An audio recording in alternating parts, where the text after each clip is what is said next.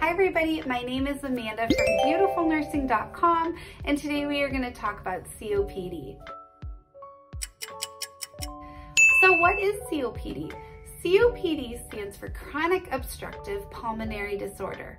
So what that is, it's an inflammatory lung disorder that obstructs airflow to the lungs. So COPD is usually caused by a chemical irritant like cigarette smoking that damages the airways. The damage to the small and large airways in COPD can cause two processes or disorders within COPD to develop. These are called chronic bronchitis and emphysema. So what even is chronic bronchitis? Chronic bronchitis is a disorder of excessive mucus production due to inhalation of an irritant like cigarette smoke. The congestion in chronic bronchitis can be due to an increased number of goblet cells that work to enlarge mucus glands. This in turn can increase the amount of mucus production and cause edema and narrowing of the airways. So what are the symptoms that you would see with the chronic bronchitis part of COPD? So I have a fun mnemonic to remember that with chronic bronchitis, the symptoms are a blue bloater whale.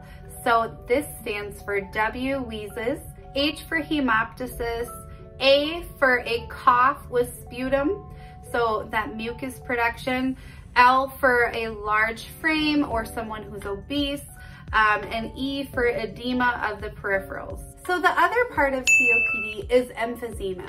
Emphysema is a disorder characterized by damage to the alveoli walls. All right guys, so pretend this elastic rubber band is my lungs. See how it's easily expanding and going back to its original position. So inspiration and expiration, so I'm breathing in, it's expanding, I'm breathing out, expelling air.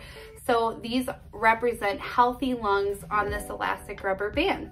Whereas in COPD, when you're exposed to this irritants, what's gonna happen is something called proteolytic enzymes. So these scissors represent the proteolytic enzymes and they come in and they damage or, you know, in this version we're gonna cut.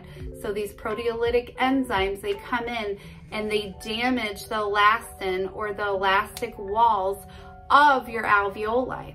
So as you can see that there is no room for anymore for air exchange to happen, right? There's been airway collapse. So there's something called antitrypsin. This is an enzyme that usually stops proteolytic enzymes from coming and damaging the elastin of my lungs or alveoli. So with this antitrypsin, you're gonna see a decreased amount of that in COPD, so it cannot protect you from this uh, these proteolytic enzymes from damaging the alveoli walls. So what symptoms would you see with the emphysema part of COPD? You can remember this with pink puffer purse. So with this, this is pursed lip breathing and pink skin for P. Uh, U, use of accessory muscles. R, respiratory rate increase. S, skinny, so you're gonna have a patient that has cachexia, so muscle wasting and weight loss. And E, an expanded barrel chest. That is usually due to that air trapping, so the air cannot be expelled because um, there is no elasticity in the alveoli walls. So how do we diagnose and treat COPD? Diagnosis can be done with pulmonary function tests like the FEV1 or forced expiratory volume. You will see a decrease in the amount of air expelled due to narrowed airways and resistance to airflow. You can also diagnose with ventilation perfusion um, scanning, so with the VQ mismatch, um, ABGs or serum antitrypsin levels um, to see if that enzyme is present. The treatment for COPD can be started with bronchodilators used to improve airflow and reduce air trapping by relaxing the bronchial smooth muscle. So an example of uh, bronchodilators could be albuterol or ipratropium. Corticosteroid therapy like prednisone can be used for acute exacerbations of dyspnea or difficulty breathing.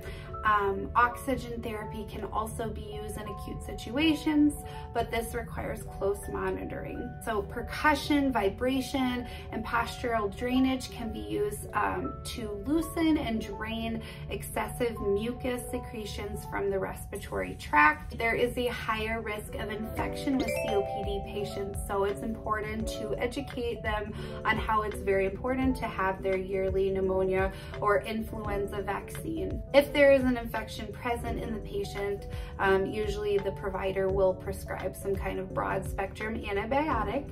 As the nurse, it is important to educate your patient on smoking cessation, on the technique of using pursed lip breathing, um, increasing fluids to thin secretions, and finally just monitoring their caloric intake um, to make sure that the patient is getting enough nutrients to keep up with their metabolic demands. So in conclusion, the highest priority um, for the nurse is just to improve oxygenation in your COPD patient. Thank you so much for watching. Please check out beautifulnursing.com for free tools, notes, and advice to help you pass nursing school. Have a good day, guys. Bye.